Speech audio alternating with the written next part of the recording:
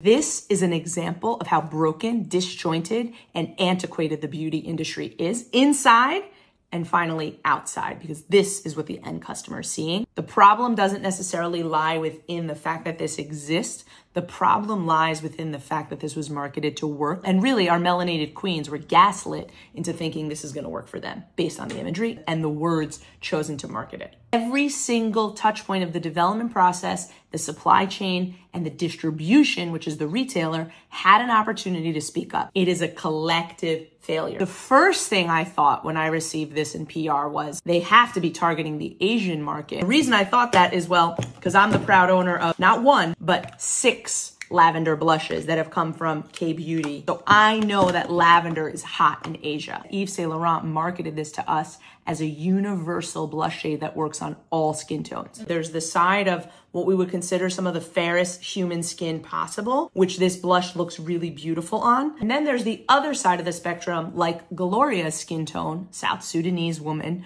who's really carrying this inclusivity conversation on her shoulders. This is so much bigger than a conversation really about the beauty community. It's an issue of systemic racism, and this is an issue of diversity, equity, and inclusion, once again being in the back burner instead of at the foreground. This is a loose explanation of the process but likely the ideation of this blush came from, well, none other than the insane volume of blushes that have launched this year in the liquid category. So of course YSL had on their pipeline to come out with liquid to powder, a transforming texture of blush. The moment that this brief for YSL would have been issued, there would have been a decision on how many shades and what types of shades they want to launch. Right then and there, that brief goes all the way to the supplier. This was made in France. It's likely that they would have done this in-house because L'Oreal owns YSL Beauty. So that means it could have been done in-house at a L'Oreal facility that manufactured it, or it could have been outsourced to a contract manufacturer that is based in France. We don't know. The blueprint of the construction of this formula base would have sat with a chemist.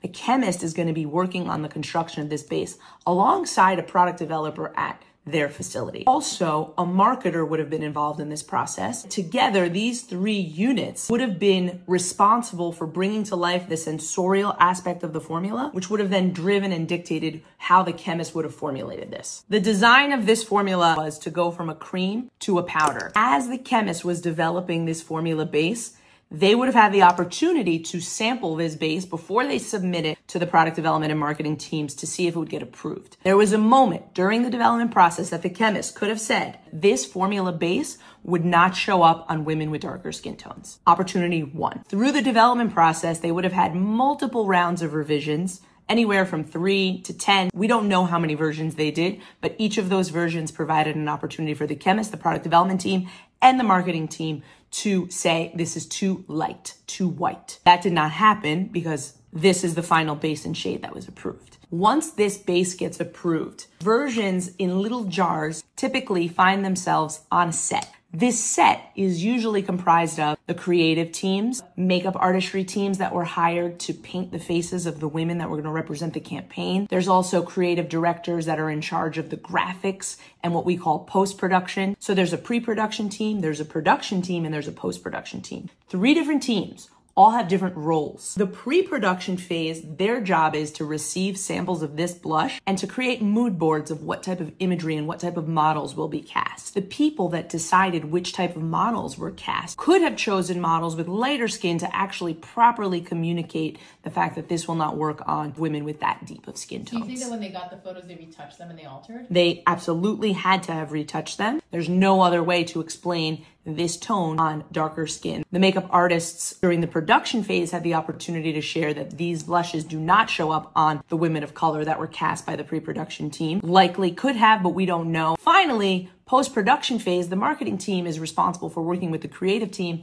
that is retouching the photos of the campaign and that is providing the retailers and even their own dot com the information that's when the marketing team had the opportunity again to rectify the language that they chose to use, which was very intentionally universal when we know that this is not. So that's another opportunity that the company had to actually stop this from coming to market with language that suggested it worked for universal skin tones. We're not done. The retailer had the opportunity to sample this product and say, guess what? This is not universal. You cannot represent it as such. Does the retailer care because they just want to make sales? The reseller wants to make sales. Should have been well aware that this wouldn't work, even just looking it, because they work in the beauty industry. They should know that. I've been involved in the way that a product comes from ideation to the retail sales floor, so I know the steps. That's why I understand how many opportunities existed for this blush to be marketed differently. Now we're at a point where we need transparency from the brands more than ever before, and we need to elevate the education at every single touch point because it becomes an issue of racism, because it's breeding hate